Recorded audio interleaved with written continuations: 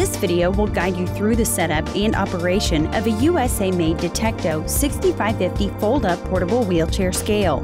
This sturdy but lightweight unit is exceptionally easy to handle and a snap to set up.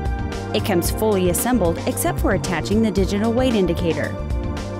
Before opening, ensure the carton is placed flat with the top side up. The carton contains delicate instruments and must be handled with care. To open, lift the top off and set it aside. Save the carton until you are certain the scale functions properly, approximately two or three weeks. One very important precaution at this point, be sure that the storage pin holding the column to the scale base is in place and has not slipped out during transit. If the pin has slipped out, replace it before lifting the scale. As demonstrated here, the pin will prevent the scale's heavy base from falling and causing injury or damage even if the scale's regular latch mechanism is not in place. With the scale safely standing upright, you are now ready to attach the weight indicator, which you will find in the small box that is packed in the carton. Carefully open the box and remove the indicator. Be sure to save all reference material, including the indicator's operation manual.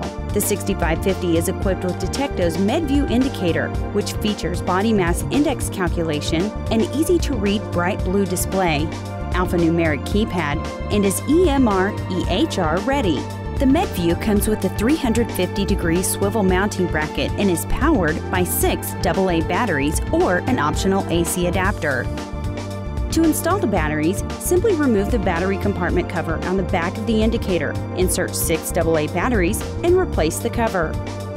Before attaching the indicator to the scale, you must first lay the entire scale unit down and raise the column as shown. Place the indicator into the ball socket mount on the top of the column and hand tighten it in an upright position. This mount is capable of swiveling 350 degrees for maximum visibility. Attach the cable from the column to the connector on the back of the indicator, securing it with the two screws on the connector. The scale's load cells are now connected to the indicator. Please note that when the column is in its upright position, a laminated card hangs from the handle for easy operator reference.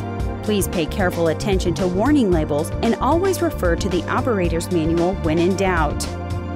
Before operating the scale, remove the protective plastic from the indicator's keypad turn the scale on by pressing the red and white on-off key.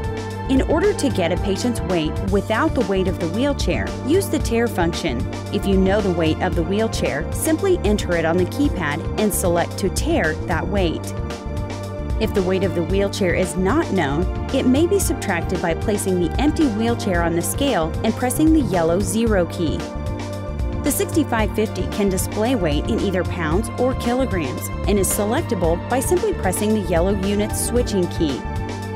The 6550 features body mass index calculation or BMI, which has been shown to be an accurate estimate of health risk when used as part of a comprehensive health assessment. If the indicator has been configured to recall stored IDs, simply press the ID height key and enter the new ID name to store the data to. The ID may be up to 14 alphanumeric digits long.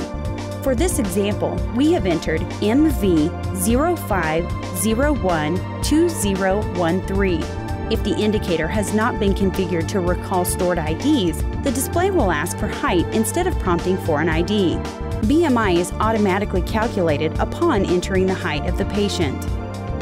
To ready for transport, release the column and gently lower it to the base. Be sure to insert the storage pin to lock the column in place.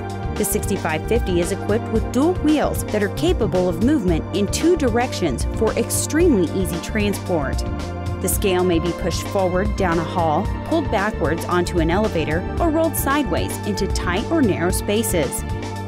The scale should always be stored in a secured, upright position preferably near a wall for maximum safety and protection against damage.